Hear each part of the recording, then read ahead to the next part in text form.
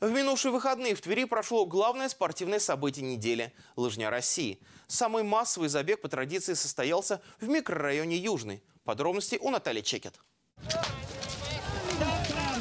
Первыми в лыжной гонке стартуют юные участники соревнований. Это юноши и девушки. Среди них как профессионалы, так и любители. Ребята бегут два с половиной километра. Это всего один круг, но для них он может стать решающим. Массовый лыжный забег «Лыжня России» проводился юбилейный сороковой раз. И хотя старт организован для всех желающих, лидерство все же захватили профессиональные спортсмены. Как трасса? Тра- трасса отличная, маленькая, гололед, но ездить можно. Хорошо, накатано. На лыжи едут хорошо, да.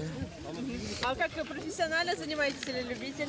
Профессионально 7 лет уже занимаюсь лыжами. Перед лыжной гонкой все участники разминаются, проверяют спортивный инвентарь. Во время соревнований не должны подвести ни мышцы, ни экипировка. Эти э, соревнования носят такой массовый характер, где каждый, вне зависимости от возраста, от своей физической подготовки, может выбрать любую дистанцию по своим силам, проверить свои возможности в дальнейших соревнованиях.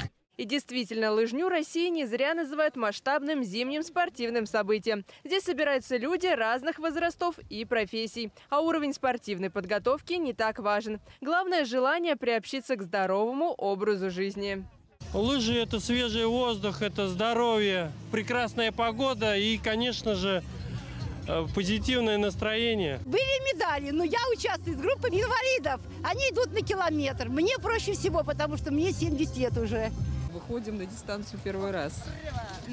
Думаешь, как проедешь? Ну, пока первый раз. Так что главное участие, а не победа. В связи с действующими ограничениями место проведения было разбито на зоны, чтобы не допускать большого скопления людей. Всего соревнования собрало 3000 участников из 40 муниципалитетов Верхневолжья. Тверская область на протяжении ряда лет участвует в этом замечательном празднике спорта. С каждым годом участников становится все больше и больше.